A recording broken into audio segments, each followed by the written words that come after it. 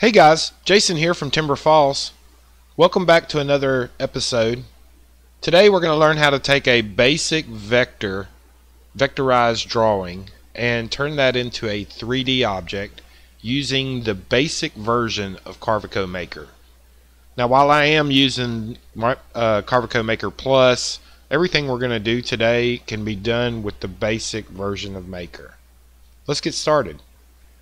Once you open your project up, um, we're going to go to the clip art library.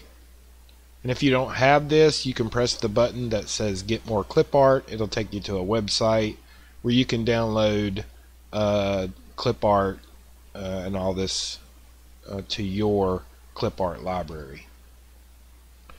When we, uh, I picked a sign base, and when the sign base comes in, we're going to want to size it up.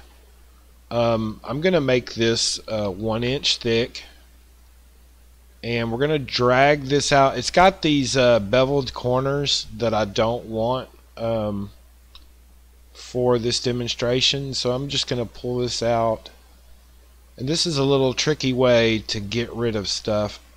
Anything that you paste outside of the material is going to get cut off.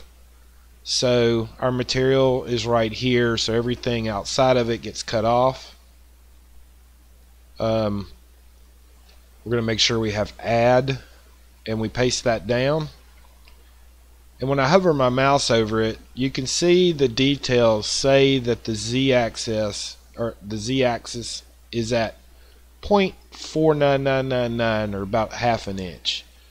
Um, when I set it to one inch, the corners were probably half an inch, and the middle of that tray was probably half an inch. So now our material is at half an inch.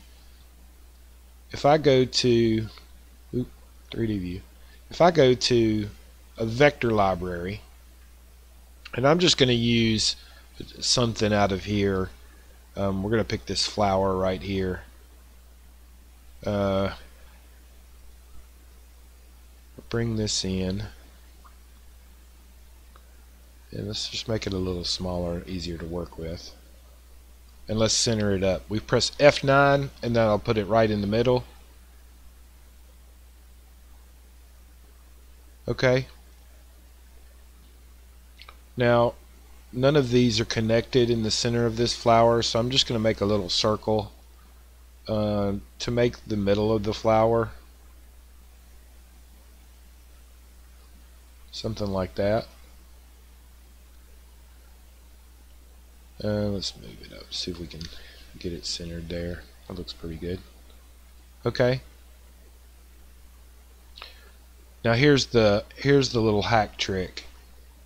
We highlight all of this and then we go to the if you hold your button down on the corner of this you'll get all of these zero outside of vector inside a vector. We want a zero outside a vector. And when we did that, that cut out our little flower. See, now we have some depth. And from here, you can now add height. So we want to make that one inch, we can make it one inch. Okay, now I'm going to show you a few other little tricks.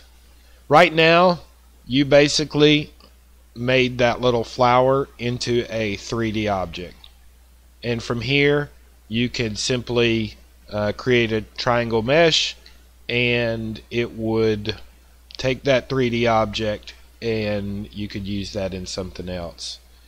Um, this is is very very crude. Um, I did find a few tricks to to make it look better um, and I'll show you that real quick. Um, if you press the scale relief button there's this detail button over here and if you go to emboss and let's say we're going to emboss it's one inch tall we're going to emboss a quarter inch and we're going to set the scale height uh, to 0.75 okay let's apply that it does it's hard to see that it did anything but here's a, another little trick we go up here to our smooth relief tool. Whole relief, we're going to put that at 100%. And we're going to press this apply button like 10 times.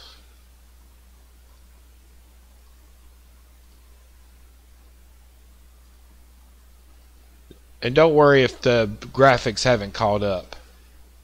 Okay. and that's going to really smooth that out. So then, after you've got it all smoothed out, do the zero outside of vector again.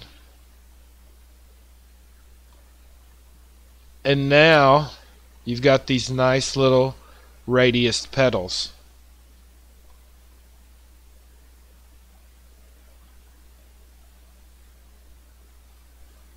And then you could actually go back and smooth that out some again a couple of times.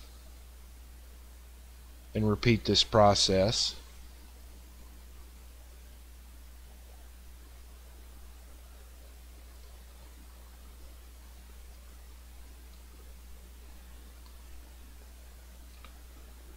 And now you've got this nice pretty flower that you can create a triangle mesh and use this in another relief.